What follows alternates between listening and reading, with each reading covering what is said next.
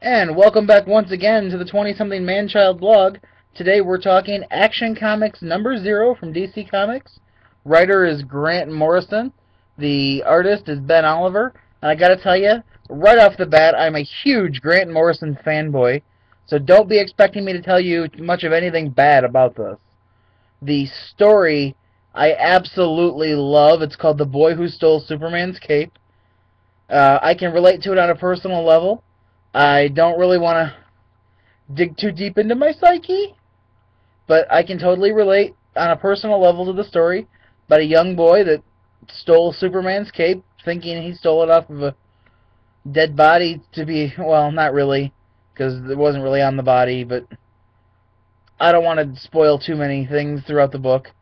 But ultimately, we get to see that a young Clark Kent, instead of wearing a costume like we would have liked, goes into a t-shirt shop printer and has hundreds of blue shirts with the Superman logo printed up. I'm still not a big fan of the new costume. Literally a t-shirt, cape, and jeans with work boots. I realized what DC was going for was to modernize the Superman costume, get rid of the underwear on the outside motif, but I'm not a big fan of the current costume. Looks like any random guy walking down the street plus a cape. I'm going to give the story an A. Obviously, it's Grant Morrison. What else could I give it? I'm going to give the art a B+. plus. I'm going to give the overall book a, a solid, really high B+. plus.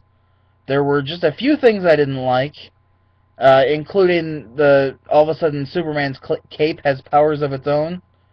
Uh, I don't remember that in any old Superman story.